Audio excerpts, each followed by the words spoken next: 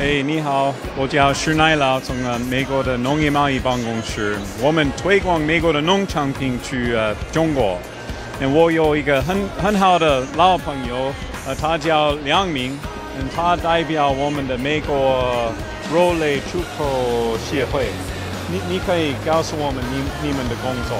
美国肉类出口协会呢是成立于一九七六年的一个非盈利性的贸易性贸易组织。我们的宗旨呢是推广美美国的红肉类产品到世界的餐桌上。那红肉类的产品呢，包括啊牛肉、猪肉还有羊肉。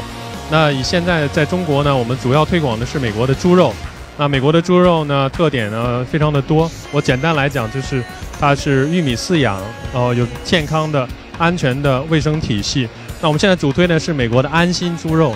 那现在很多的美国中的呃呃中国的消费者呢，对于安心猪肉这个概念呢，还不是很了解，所以我们也通过这个展会呢，来跟大家介绍美国的猪肉，美国的啊养殖啊它的那个产品是怎么样，它的优点在口味呢，烹烹饪方面的话，它的口感是更滑嫩的，爽口的。那现在我们的介绍的就是美国的这个梅花肉的产品，美国的猪的梅花肉。那这个产品呢，它的特点就是呃爽口。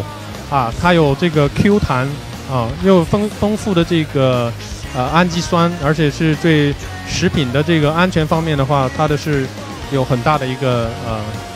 好处，香味更浓郁，因为它是玉米饲养的，纯谷物饲养的。那它的卫生条件是严格按照美国农业部的卫生的这种呃呃呃生产程序之制成的，而且是 HACCP 是拥有啊国际的这个卫生标准的这个条件下去制生产制造的。所以，它从它的冷链的配备，从它的运输，从它的养殖到它的基因，是一个一体系的，